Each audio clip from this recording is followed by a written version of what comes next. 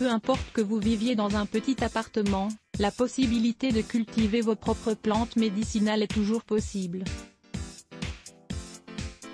Il suffit de quelques pots de fleurs, un peu d'eau de temps en temps et un espace suffisamment lumineux. Aloe vera, menthe, camomille vous seront utiles au quotidien et vos enfants seront enchantés de les voir pousser. Découvrant ainsi les merveilles de la nature. Les plantes médicinales que vous pouvez cultiver à la maison disposer de son propre jardin potager de plantes médicinales, c'est comme bénéficier d'une petite pharmacie dont on peut jouir au quotidien, un rhume, une douleur d'estomac, une blessure qui ne cicatrise pas, un bon tonique relaxant. La nature est sage et merveilleuse, un remède à la portée de tous et de laquelle on peut apprendre tous les jours. Pourquoi ne pas vous concocter alors votre petite sélection de plantes médicinales chez vous? Bien sûr, cela en vaut la peine, prenez donc note des espèces les plus utilisées au quotidien, qu'il est possible de cultiver simplement dans des pots. Lisez aussi, ne manquez pas de découvrir toutes les propriétés de l'aloe vera pour votre santé 1. L'aloe vera L'aloe vera, ne demande pas beaucoup d'attention. Vous pouvez laisser les pots en plein soleil sur le balcon de votre appartement, par exemple, et les arroser de temps en temps. Ces plantes sont souvent très prolifiques. Leurs feuilles charnues sont composées d'eau, d'enzymes et d'acides aminés riches, capables de régénérer la peau abîmée. Nous pouvons en extraire facilement un gel guérisseur en coupant les feuilles. Pour la cultiver chez soi, il est préférable de le planter dans un pot de terre et non pas dans un pot en plastique.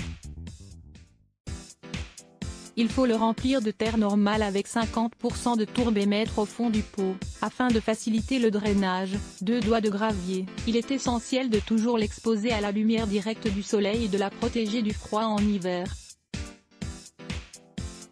La menthe qui peut résister à une bonne infusion de menthe durant un bel après-midi, elle est idéale pour les douleurs stomacales.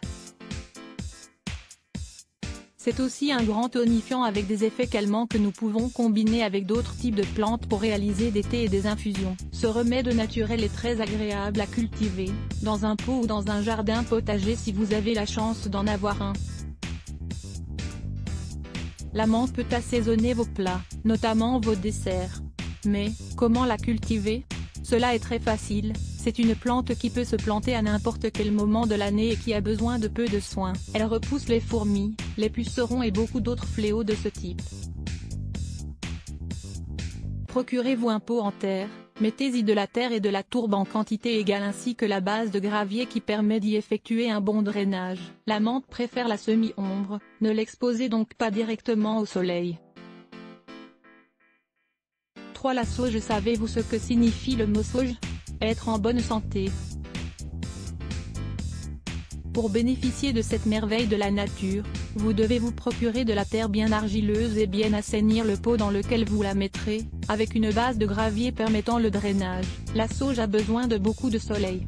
Ainsi, il est bon de la mettre sur le balcon, dans ce coin qui est presque toujours ensoleillé.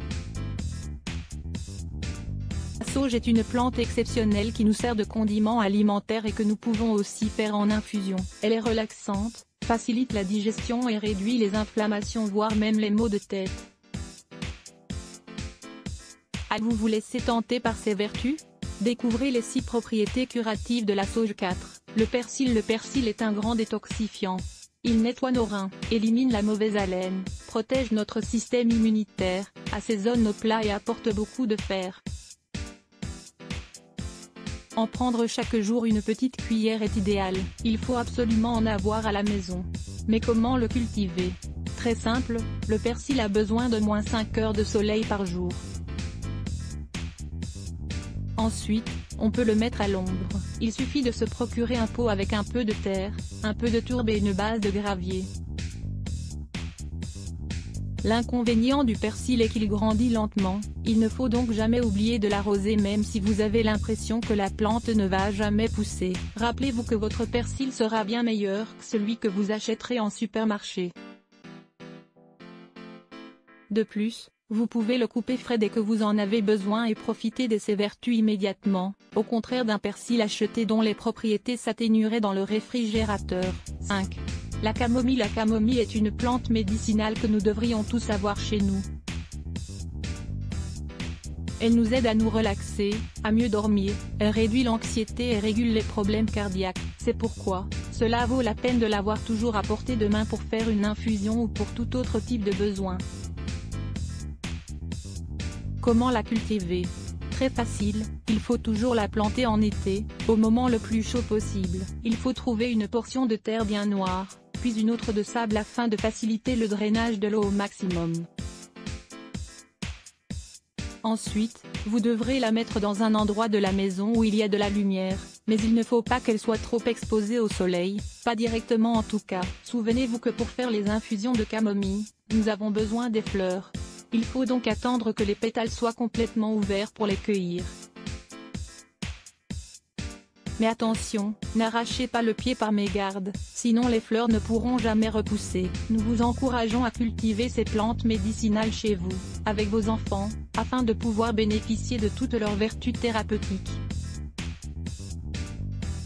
Hypertension, 5 herbes médicinales Il est possible de contrôler une tension artérielle élevée et l'hypertension grâce aux propriétés de nombreuses plantes et herbes médicinales. Lire Pulet's Block ADS. Why?